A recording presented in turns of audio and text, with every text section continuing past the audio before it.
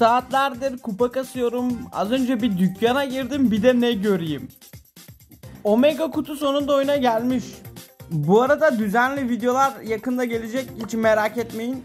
Bunu buradan tekrar söyleyeyim. Sürekli video çekiyorum ama videoları paylaşamıyorum. Çünkü dışarı çıktığım zaman yani bizim evde fazla internet çekmediği için ben de dışarı çıktığım zaman hepsini yükleyeceğim. Şu an çok şekil bir şeyler olacak.